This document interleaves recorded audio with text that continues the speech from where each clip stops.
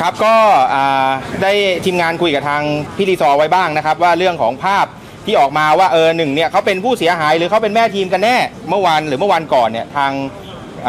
ภรรยาของทางพี่ลีซอเนี่ยก็มาแล้ว แล้วก็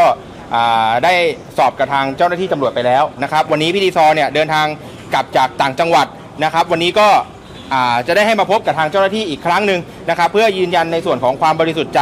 เบื้องต้นผมได้คุยแล้ว นะครับคือของเขาก็ยังไม่ได้ปล่อยออกแล้วเขาก็ไม่ได้หาลูกข่ายเพิ่มเลย ผมก็มองว่าเขาก็อาจจะเหมือนคนทั่ว ๆ ไปที่เปิด dealer แล้วก็อาจจะไม่ได้ปล่อยของอะไรนะครับวันนี้ผมเชื่อว่ามีคนหลายคนที่พร้อมจะให้ข้อมูล แต่บางท่านอาจจะยังเข้าใจว่าเอ้ยแม่ทีมมันตัวดี แม่ทีเนี่ยมันตัวแสบนะครับ แต่ผมบอกเลยครับว่าการที่เราจะเข้าไปถึงจุดที่อยู่ด้านบนที่สุดเนี่ยต้องไปหาจุดที่มันใกล้กับด้านบนที่สุดนะครับ แต่ถ้ามีคนที่อยู่ที่บอกอาเป็นแม่ทีมต่างๆเนี่ย เขามาอยู่ฝั่งเรา หรือมาให้ข้อมูลกับทางเจ้าหน้าที่นะผมเชื่อว่าเราก็มีโอกาสที่จะไปได้ถึงฝั่งฝันนะครับ การที่เราจะไปด่าเขาก็เป็นไปได้ช่วยกันพูดคุย ให้เขาเนี่ยมาให้ข้อมูลกับทางเจ้าหน้าที่ตำรวจ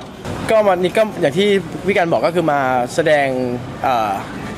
จุดยืนชัดเจนว่าเป็นผู้เสียหายนะครับ ไม่เคยมีการเปิดบินหรือไปไปส่งต่ออะไรใดๆเพราะผมเองก็ไม่ไม่ได้มีความรู้เรื่องนี้มากเท่าไหร่อะไรเงี้ย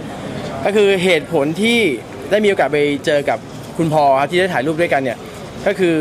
ผมได้รู้จักกับแม่ขายคนหนึ่งซึ่งรู้จักกับน้องเขาเนี่ยเป็นการส่วนตัวอยู่แล้วก่อนหน้านี้ ก่อนที่เขาจะเข้ามามาที่บริษัทนี้ พอเขาเข้าไปแล้วเนี่ยก็มีในการพูดคุยกันเรื่องของ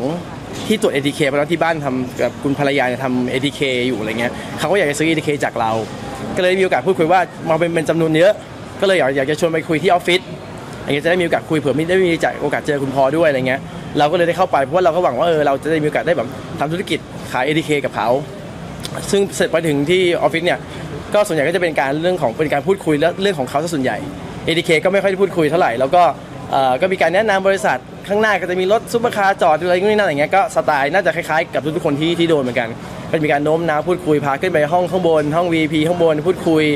แล้วก็เอาสินค้ามาให้ลองนู่นนี่นั่นอะไรเงี้ยฮะเราก็รู้สึกว่าเออเหมือนกับก็ช่วยช่วยน้องในมุมหนึ่งว่าเออก็ สมัครไปไม่เป็นไรอะไรเงี้ยแล้วก็เผื่อได้ของมาทานด้วยอะไรด้วยอย่างเงี้ยก็ก็คิดแบบนั้นไปเพราะว่าจริงๆแล้วภรรยาผมก็เขาชอบแบบรักสวยรักงามนะผู้หญิงอะไรเงี้ยเขาก็อยากได้คอลลาจงคอลลาเจนอะไรเงี้ยพอเหมือนกับเราเขาเรียกอะไรอะโอนเรียบร้อยอะไรเงี้ยก็ถึงได้มีโอกาสเจอคุณพรหลังจากนั้น แล้วก็เขาก็ได้เจอแค่ครั้งนั้นครั้งเดียวเลยนะครับ มีโอกาสแค่พูดคุยทักทายนิดหน่อยอะไรเงี้ยแล้วก็เหมือนก็เอาเราไปถ่ายรูป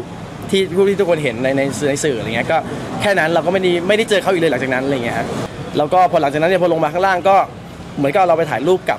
ตัวแทนของเขาหลายๆท่านที่อยู่ข้างล่างอะไรเงี้ยซึ่งเราก็แบบก็ยังไม่รู้ว่ามันอะไรยังไงแล้วก็แต่ก็ถ่ายรูปไปแล้วอะไรเงี้ยฮะด้วยความที่เราเองก็ผมก็เป็นคนง่ายๆกับอะไรพวกนี้ก็ไม่ได้ซีเรียสมากก็โอเคก็ถ่ายถ่ายไปเหมือนกับเพราะอย่างสมมติอย่างกับแฟนคลับที่เราเจอแฟนฟุตบอลอย่างเงี้ยเราก็ถ่ายรูปได้ทั่วไปอยู่แล้วอะไรเงี้ยก่อนที่จะเปิดบิลก็อย่างที่เราเห็นก็จะมีแบบพวกอย่างดาราอะไรเงี้ยเราก็คิดว่าทุกคนคงเบอร์ใหญ่ด้วยอะไรเงี้ยก็เช็คคงเช็คกันมาแล้วแหละอะไรเงี้ยเราก็เลยแบบเออก็เหมือนมีความเชื่อถือน่าเชื่อถือประมาณนึงอะไรเงี้ย ก็เลยได้เปิดไปครับเอ่อณตอนแรกนะตอนแรกเนี่ยก็คือมันเอาสินค้ามาให้ลองเนี่ยแล้วก็เหมือนกับเราเราเราซื้อแล้วก็เหมือนกับคิดว่าจะได้ของมาไปทานอะไรเงี้ยแต่ว่าก็ของยังไม่ได้ของอยู่ในสต็อกเขาบอกว่าเป็นการเหมือนกับ service ให้เราว่าเอ้ยพี่ไม่ต้องห่วงเรื่องสต็อกนะไม่ต้องเอาไปกองที่บ้านเยอะๆถ้าพี่จะส่งให้ใครหรือจะอะไรไงใครมาซื้อของพี่เนี่ยก็เดี๋ยวพี่บอกเราเดี๋ยวทางเราส่งให้อะไรเงี้ยก็จะน่าจะเป็นเคสเหมือนกับทุกคนที่ที่ที่เจอครับก็ก็ไม่ได้สินค้ามา พอหลังจากที่เราเปิดบิลเสร็จแล้วถ่ายรูปไปเสร็จแล้วเรากลับมาเนี่ยที่บ้านเราก็มา เหมือนก็ถึงจะได้มาเช็คอีกทีหนึ่งว่าสินค้าอะไรเป็นยังไงก็เข้าไปดูตามพวกแอปพลิเคชันที่ขายของเนี่ยเราของเราเนี่ยมันราคาหนึ่งและของเขาเนี่ยที่อยู่ในแอปเนี่ยเราก็ไป search ดูเนี่ยมันก็เป็นอีกราคาหนึ่งที่ต่ำมาก เรารู้สึกว่าเอ๊ะมันทำไมมันถึงเป็นแบบนั้นอะไรเงี้ยแล้วการที่เราจะขายของเนี่ยโอเคถ้าขายปลีก มันก็ขายได้แค่บางชิ้นอะไรเงี้ยมันก็ต้องขายแบบนี้เขาบอกคือต้องไปหาคนมา ซึ่งเราสึกว่ามันไม่ใช่ทางของเราแล้วเราก็ไม่ได้แบบอยากจะไปทางนั้นอะไรเงี้ยตั้งแต่แรกเราเหมือนเราจะช่วยเขาครับเราไม่ได้กะว่าจะทำอะไรหลังจากนั้นอยู่แล้วเราก็รู้สึกว่าเออแบบ เราเราก็ตกลงยินยอมกับเขาไปเองอะว่าเราจะแบบจะลงทุนกับเขาเหมือนจะมามามาแบบมาสมัครอะไรกับเขาอยู่แล้วเงี้ยก็เลยแบบ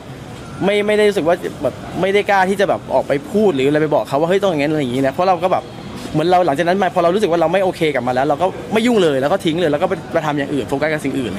ตอนนั้นก็ไม่ได้ไม่ได้ถึงขนาดเสียเสียได้ขนาดนั้นอะไรเงี้ยเพราะว่ามันก็เหมือนก็เรายินยอมเองอะไรเงี้ยประมาณนั้น เรารู้สึกอย่างนั้น